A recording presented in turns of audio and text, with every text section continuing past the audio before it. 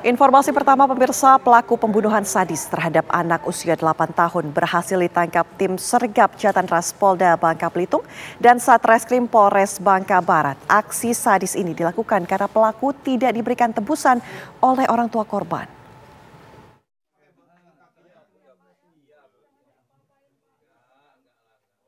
Tim Sergap Jatan Ras Polda Bangka Belitung dan Satreskrim Polres Bangka Barat berhasil membekuk pelaku pembunuhan terhadap seorang anak berusia 8 tahun.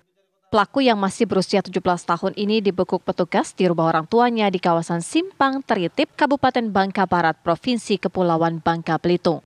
Dalam penangkapan ini, polisi turut mengamankan sejumlah barang bukti di antaranya sepeda motor dan pakaian korban. Kepada awak media, polisi mengungkapkan sebelum dibunuh, korban diculik oleh pelaku. Merasa permintaan uang tebusan sebesar 100 juta rupiah ke orang tua korban tidak diberikan, pelaku kemudian membunuh korban. Pelaku bahkan sempat mengirim pesan singkat ke orang tua korban lengkap dengan foto korban dengan tangan terikat. Motif daripada pelaku ini dari hasil pemeriksaan dan juga WA sinkron bahwa melakukan penculikan ini, pembunuhan ini dengan meminta tebusan uang. Sebelumnya pada 9 Maret 2023, warga di kawasan Simpang Tritip, Kabupaten Bangka Barat digegerkan dengan penemuan mayat di area perkebunan sawit.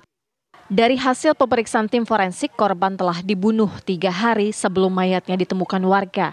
Kini pelaku terancam pidana kurungan 20 tahun penjara. Dari Bangka Belitung, Friendly Primadana TV One mengabarkan.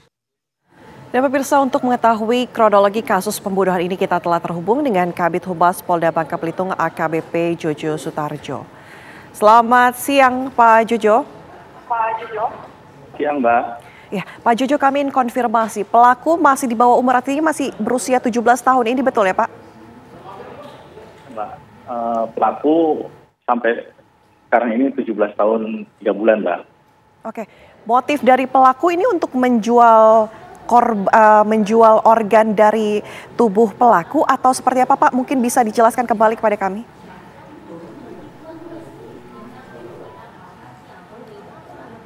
Jadi gini Mbak, untuk motifnya sendiri, uh, si pelaku terinspirasi dengan adanya mengenai masalah nonton-nonton berita, uh-huh. Kemudian uh, si pelaku tersebut melakukan penculikan. Pada awalnya ujung uh, membonceng si korban. Dan, dan saat setelah sampai di, itu uh, si pelaku melakukan uh, uh, penganiayaan terhadap si korban tersebut. Pak Jojo, ini pelaku sadis begitu ya terlihat oleh masyarakat melakukan pembunuhan seperti ini terhadap anak usia 8 tahun. Lantas apakah ini perilaku pertamanya melakukan pembunuhan ataupun penculikan atau sudah pernah juga sebelumnya ada catatan kriminal oleh korban oleh pelaku? Untuk sampai dengan saat ini uh, pelaku ini dia masih duduk di bangku sekolah. Uh, jadi untuk catatan kriminal nggak ada, Nihil. Jadi baru melakukan untuk yang kejadian yang pertama untuk uh, kejadian yang kemarin ini. Lantas bagaimana perilakunya selama ini Pak? Kalau kita lihat begitu apakah dia memang anak yang uh, pendiamkah atau seperti apa? Sudah adakah dari pihak kepolisian menyelidiki hal ini? Uh, kecenderungan untuk sehari-hari daripada si pelaku ini uh, sifatnya pendiam. Jadi untuk mengenai masalah pergaulan pun karena yang bersangkutan pemukimannya pun tidak terlalu banyak. Yang bersangkutan tinggal di satu perkebunan. Jadi di satu perkebunan tersebut ada uh, kompleks perumahan uh, tempat yang karyawan. Jadi satu kompleks perumahan tersebut kurang lebih 13 perumahan. Jadi tidak terlalu banyak. Tinggal di uh, dengan halayak masyarakat banyaknya.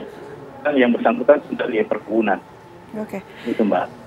Lantas Pak untuk pelaku ini memin sempat meminta tebusan kepada orang tua korban 100 juta rupiah itu betul ya Pak ya. Apakah yang akan digunakan oleh pelaku sendiri Pak? Uang 100 juta ini untuk apa begitu?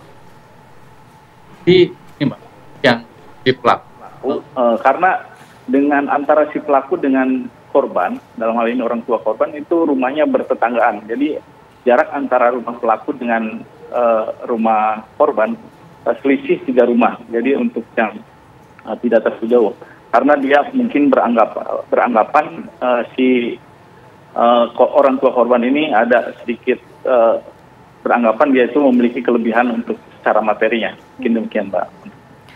Untuk uang tebusan tersebut digunakan untuk apa? Sudah ada informasinya kah, Pak?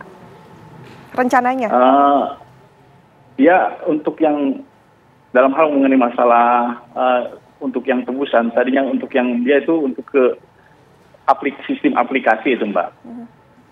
Jadi dia menyampaikan untuk ke, ke, ketika kehilangan itu, dia penculikan dilakukan pada tanggal 5 Maret. Uh, kemudian dia melakukan untuk menyampaikan minta tebusan itu di tanggal 8 Maret hari Rabu sebelum satu hari sebelum diketemukannya uh, mayat korban tersebut. Oke, baik. Jadi terima dia kasih. menyampaikan untuk minta tebusan setelah uh, si korban meninggal dunia juga. Oke. Baik, terima kasih Kabit Humas Polda Bangka, Pak Jojo. Terima kasih sudah bergabung bersama kami memberikan informasi di Kabar Siang.